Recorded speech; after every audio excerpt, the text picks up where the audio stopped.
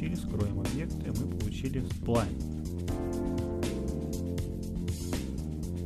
Control, Offset,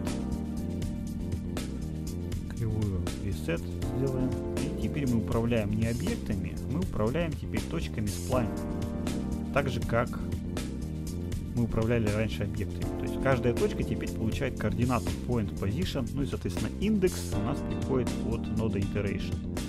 Таким образом мы как бы создали новый свой параметрический сплайн. И управляя элементами user data мы можем соответственно влиять на этот сплайн. Сейчас мы можем немного прокачать вот эти элементы управления и что мы можем здесь добавить? Например, смотрите, если я сейчас попробую сместить этот сплайн, то ничего не получится. Почему? Потому что point position